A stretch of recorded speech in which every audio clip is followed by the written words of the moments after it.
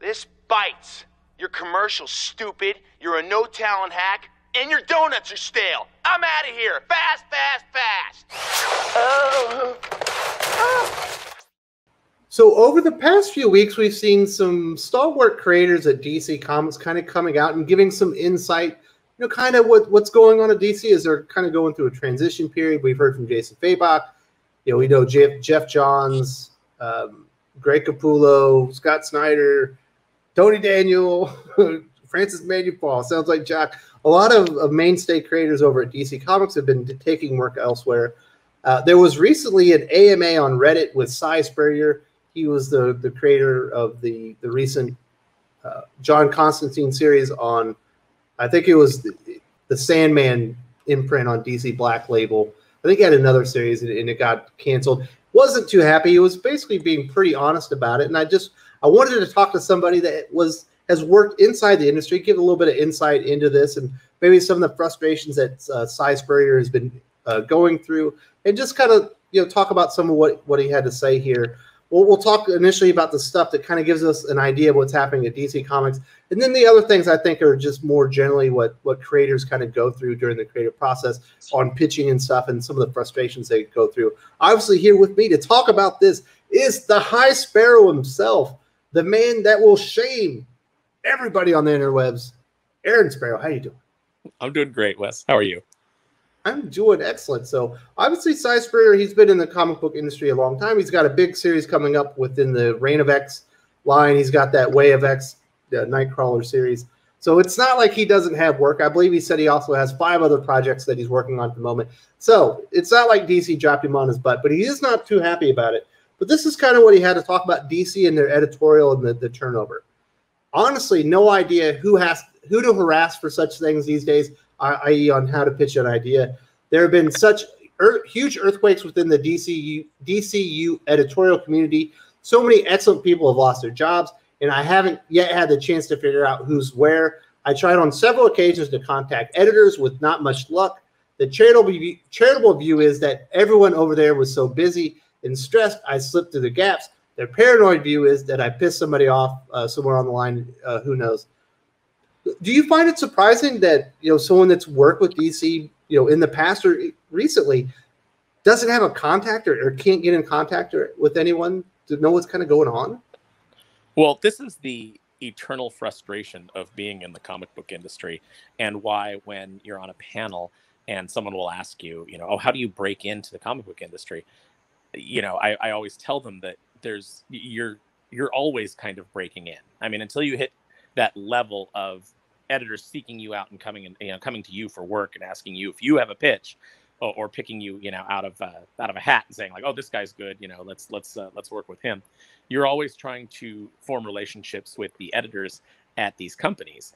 And sometimes you'll invest a lot of time with a specific editor. You know you'll be pitching to them and they'll be receptive and then all of a sudden they'll be gone. They'll quit or they'll get fired and you have to start over at you know step one. You have to find you know you have to either talk to the new editor or you have to go pitch to another editor. So you have to have these relationships constantly and it's not easy and it's particularly not easy in the current uh, situation that we find the industry in where people are losing their jobs left and right there's downsizing. You know these big companies have bought out uh, you know the, the parent companies and then are just you know it's just an ip farm but they don't really have any interest in producing the comics they don't have any real interest in you know creating the mythos or relationship with these creators so to them it's just like hey cut costs get somebody cheaper so you know it could be Si Spurrier, he might. I mean, I don't think he's in the upper echelon of uh, of DC creators that are you know making like top dollar. Um, I'm sure he's probably somewhere uh, you know just use a wrestling term on the mid card but you know that may be too expensive for DC at this point, and they just may not you know see the numbers coming in and feel like it justifies uh, keeping him on staff. Obviously, yeah, he was expressing some frustrations that he wasn't included with this new DC initiative with Infinite Frontier. Obviously, they brought in a lot of new talent that really don't have a lot of credits to their name as far as comic book writing. You know, a lot of uh, screenwriters, some some people new to the industry it, it probably is that his pay rate was just a little too high as they're trying to cut costs. We know they essentially gutted out. They don't really have exclusive creators anymore. Yeah, and you know we've all had the rug pulled out from under us as as creators. It's it's just kind of the nature of the beast.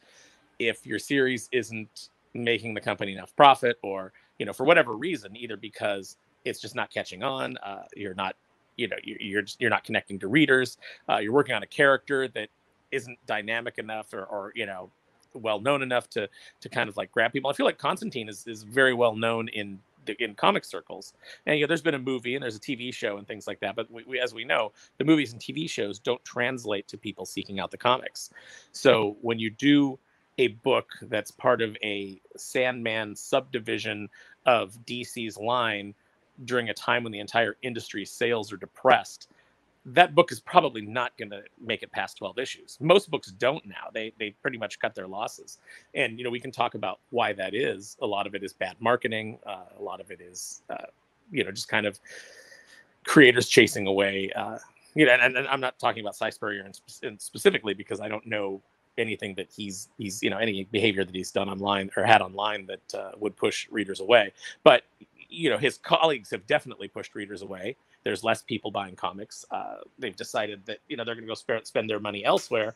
You know their entertainment dollar is going to go to an industry that doesn't insult and, and seem to uh, despise them. So you know you've got all of those factors. You know the, the typical incompetence of uh, companies to get the word out there about your series, uh, to continue to get the word out there once the once we're past the first issue, and just the you know the general kind of migration that we see from fans away from comics. Uh, it's it's a bad time to be starting a book, especially a niche book. So he did kind of go into what you were discussing there, talking about his John Constantine series. Essentially, I think it got cut at five or six issues. It was definitely early. I think maybe he had just finished the first story arc. And this is what he had to say about this. A lot of frustration here. My stupid, colossal effing mistake was to assume I was still living in the 90s when comics got at least a couple dozen issues to flex their muscles and find their fullest audience before anyone quibbled about profitability. Honestly, like I don't yeah, that's people are losing their job, man. Like and it's not just in the comic book industry. People are losing their jobs all over the place. It's all about profitability and you know, you're probably not going to get that, you know, that 18 issue grace period to try and, and, and gain an audience. You probably get three or four issues. We've seen comic books get canceled before an issue has been printed. Yeah, I think uh, what was Scarlet Strike Force uh, was canceled before the first issue hit the stands. Uh, it's just it's a matter of what these companies can afford to you know to put into it and he's he's absolutely right when he says like you know thinking that it was the 90s and that he was going to have you know some issues to play with you don't have that luxury anymore you you can't go into anything.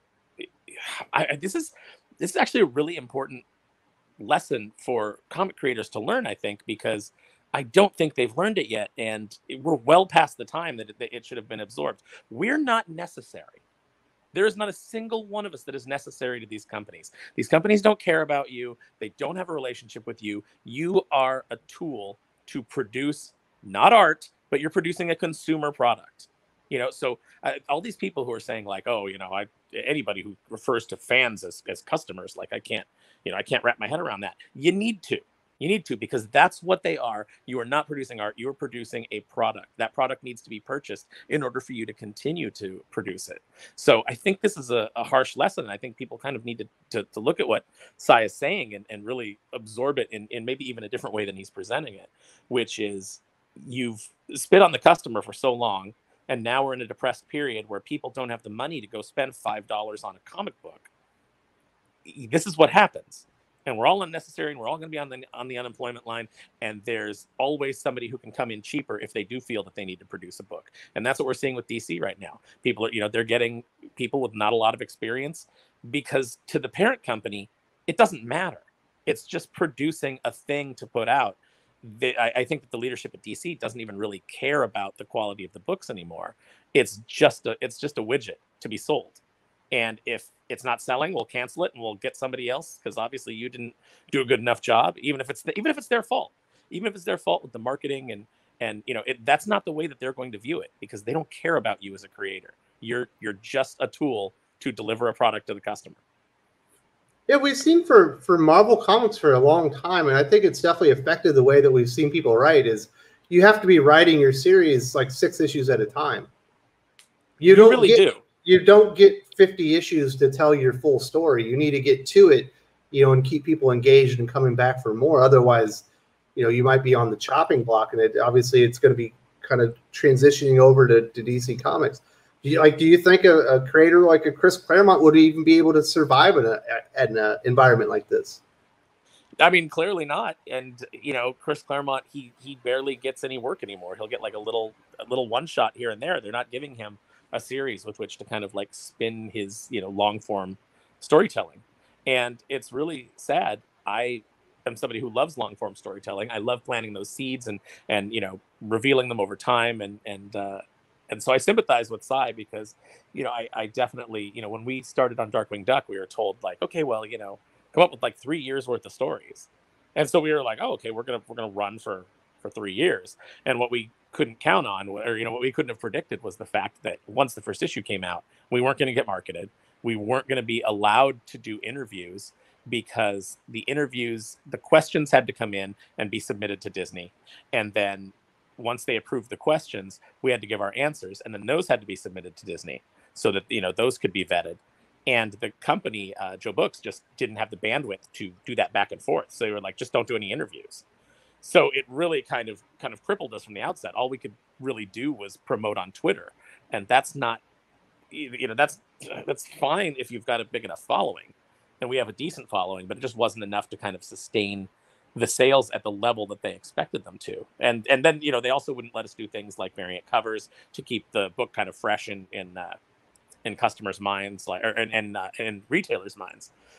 I had a whole like plan of like a variant cover program that would have been you know not too not too harsh on the customer's pocketbook, but we, you know would have had like a, some nice little one in ten chases that you know kind of like you made you want to get the first twelve issues and uh, so that we would be on a really solid footing. And they just didn't want to do any of that. They just didn't see the value in it. So I definitely understand what Si's, you know, what his feelings are when he's saying like, you know, he wanted to do this, and the company, he just didn't doesn't feel like the company backed him up. I mean, but that's that's the reality of it. You've got to you've got to hope you hit the ground. You get enough press at the beginning hit the ground running and stay on people's pulls, pull list long enough to create a buzz. Yeah, it's one of the crazy things. Uh, not just the creators, but the the customers need to realize as well. You know, DC Comics is not DC Comics. It's a little bitty entity within AT and T's enormous corporate structure. It is. It's not even a pimple on the ass of AT and T. Marvel Comics. Yeah, sure, they make a lot of money off of Marvel characters at Marvel Studios, but as far as Marvel co- Comics could go, you know, you're within this enormous corporate structure at Disney you know, you, you can't just go out there and take chances and everything. It's got to be vetted, it's got to be approved, and there's a lot more red tape. And it it, it kind of sucks. It, it kind of goes into the last thing I wanted to talk about that Si Spurrier talked about. He talked about a, a pitch that he was doing uh, for Green Lantern. This was was his story. It feels like something you could probably relate to. I actually had an effing magnificent black label pitch in with one of my favorite artists, which was all about separating the Green Lantern mythos from the current DCU continuity in a really cute, respectful way and telling a completely bonkers psychedelic sci-fi story about memory, loss, and absolute power. We all loved it, editors included, but it was deemed too hard to sell. We live in the midst of a market conditions which sometimes seem tailor-made to F with storytellers like me who aren't very good at doing the obvious thing. You know, the the interesting thing about that is that the pitch that he just gave, that's that little that little blurb, made me interested in in, in seeing that book so I don't think that it's unmarketable. I think the problem with these companies, uh, and I think you see this at Marvel. I think that you see, you know, you see this uh, at DC, even though they've had like a big shakeup. Uh, they're probably a little bit different in, and, and I'll actually kind of delineate what I'm thinking here. With Marvel, I think that you have a lot of people who have risen to positions that are above their ability. Uh, it's called mm-hmm. the Peter the Peter principle. So you know you're good at job A, so we promote you to job B, and then you're not good at it, but we don't really demote you back to job A. We just leave you in job B. And so now you're doing job B incompetently. And I feel like that's what's happened at Marvel. Uh, they have a lot of people who've risen uh, to positions of power that don't know what they're, you know, don't know what they're doing and don't know how, don't respect their audience and don't know how to connect to customers. And these are all things that are very important. With DC, I feel like they had some experienced people in there that were good at their jobs. They fired all those people because they made too much money, and they brought in younger people who are not as good at those jobs yet because they just haven't had the time to you know to, to, kind of like build that resume and build that experience. So they're doing the maybe you know maybe the best that they can, or maybe there's a lot of people there that are just you know terrified and and just trying. And this is the problem when you create a corporate culture where everyone is afraid of losing their job is nobody takes any risks. Mm-hmm. And when you mm-hmm. don't take any risks, you just get a bland kind of general malaise amongst your employees. And when you're in the creative field, you're going to get that from your books because no one wants to take a chance on anything. So Si's book sounds very interesting to me. It sounds like something that I would definitely check out, but they don't want to take a chance on it because it's too weird.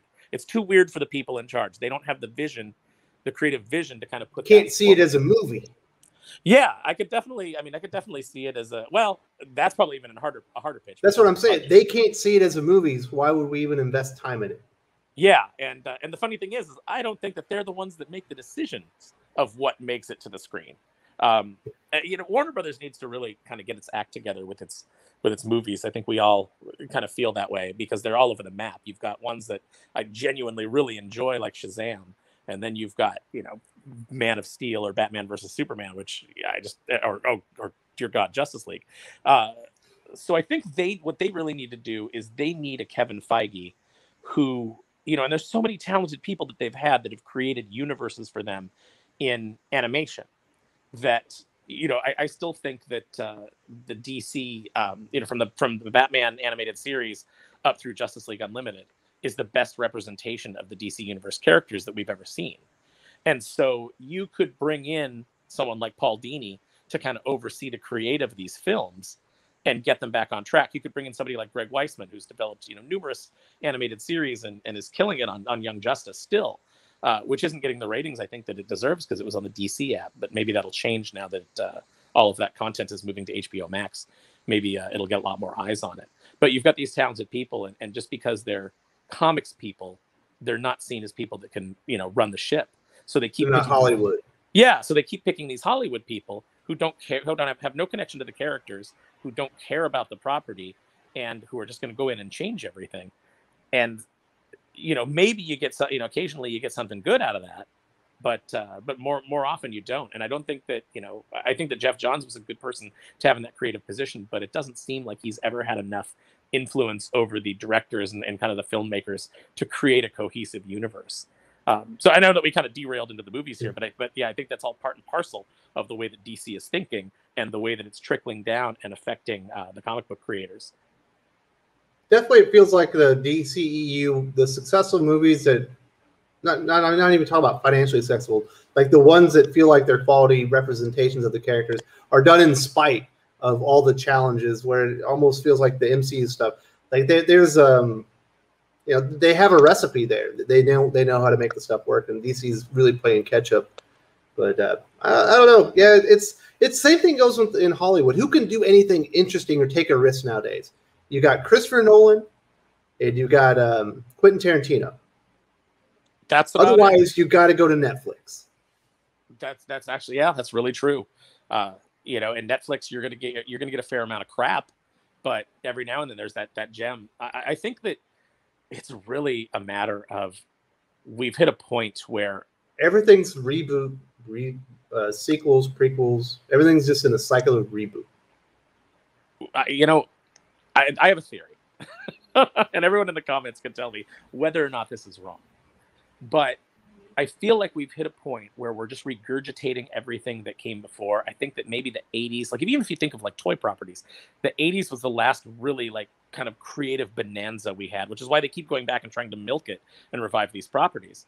Uh, but you know, we just had everything coming out in the '80s, like every crazy thing you can imagine. You know, from Masters of the Universe, Thundercats, Galaxy Rangers, Power Lords. You know, just all these concepts that people were putting together. You know, with these really imaginative kind of things, and we kind of like lost that. And I, my theory is that as we move away from older creators, because you know, I know a lot of uh, a lot of people who have worked in the animation industry and things like that. And once you hit a certain age, you're not fashionable anymore and they start trying to pull like in these Cal Art students and things like that.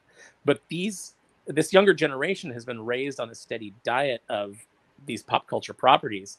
Uh, they come in and they don't have any they don't have any life experience of their own, so they're just kind of regurgitating and, and they're just regurgitating the things that they've seen.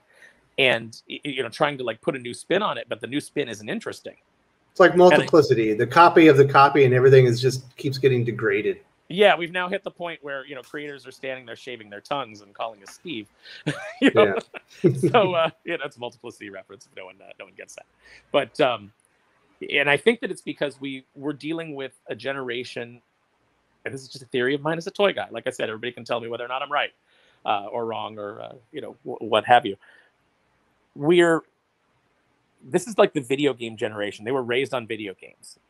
And so they had stories told to them as opposed to the previous generation, which we didn't have video games, we had action figures. And we had to go out in the backyard and we had to dig holes and build things, you know, and play with the action figures and project our imaginations into them. Uh, and I feel like that's kind of affecting the new level of creatives. If, if you didn't have that, if you didn't have that formative experience of creating in your imagination and, and projecting it onto these things, if you just were playing video games and the message was coming to you instead of you creating it, I think that's why we're hitting this point where everything just seems regurgitated because a lot of the younger and, and that's not taking away from you know because there's a lot of you know really talented young people uh, that are in the industry that you know are trying to do good work, but if their bosses are these people who never played with, you know, never never had any imagination, never played with action figures, and and you run into it on the corporate level all the time. People who are in charge of making creative decisions that don't have a creative bone in their body, you're not going to get good product. And so, and when you do, it's going to be because somehow it escaped, as opposed to it being designed. There's definitely, you know, it's it's a new culture within comics. It's something that you know customers and creators are going to have to get used to. Is there you know, the the ability to take risk almost really isn't there anymore. It's just going to be more Batman stories, more Spider-Man stories, rehashing the same events over and over and over, like we're seeing at, D, at Marvel Comics. I'm sure it's going to trickle over even more to DC Comics, and uh, yeah, it's it's disappointing, but you know, Simon Spurrier and, and yourself and the other creators are going to have to adapt to that environment, or essentially go find new work. I mean, I hate to be blunt about it. No, I, well, I think the adaptation is that, uh, and what you're seeing a lot of creators do, uh, you know, like Jason Fabok and, and Geoff Johns, uh, Scott Snyder, is you're seeing them move into doing their own stuff and selling it directly to the customer because the direct market, uh, you know, from the corporate structure of the publishers all the way down to Diamond's distribution, the direct market is a dinosaur.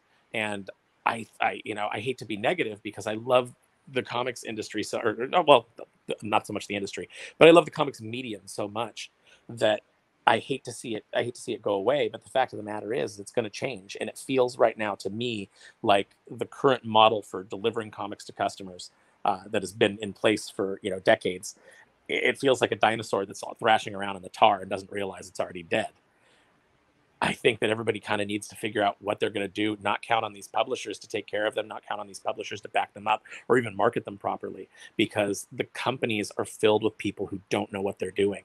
And it's just kind of the, it's kind of in, the, it feels like the industry's in its death throes. And it doesn't feel like anybody's going to do anything, certainly not at the big two. You know, is Marvel going to go in? You know, are we going to, are we going to hear that Disney went in and like cleaned house and fired a bunch of people at Marvel and brought in people that were more dynamic? No, I mean, if they fire a bunch of people, they're going to bring in people that are cheaper, that are straight out of college, and you know, much like it seems like DC has done.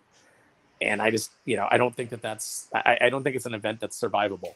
So creators need to be branching out on their own. They need to be building their own audiences. There'll be many who can't because they just can't seem to not treat the customer with contempt. But you know, the ones that can are, will be really successful. I think you you see people out there like you know, for all the uh, all, the people that uh, that, that can't stand the guy and, and hate his guts, uh, Ethan Van Sciver has managed to connect with an audience. And you know, you can debate how he's done that, you know, and the merits of it. But the fact of the matter is, he's done it, and he doesn't need DC Comics. He's making plenty of money. Doug TenNapel making plenty of money. Tim Lim, Mark Pellegrini, you know, making plenty of money. And it's just by connecting to an audience, cutting out those middlemen that will will tell you no, and getting your product out there. You know, it's it's interesting. I I've talked to. Um, like I said, I know a lot of animators and things like that, people who've worked in the industry, and every one of them has a story of pitching an idea and having the whole table love it. And then it comes around to that one person who goes, Well, I don't know.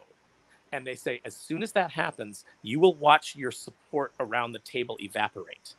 Because all of a sudden, when that one person says, Nobody ever gets fired for saying no because you didn't spend any money You know, you didn't cost the company any money. So you say no, and then you're you're a hero because if the project fails, well, you're the guy that said no.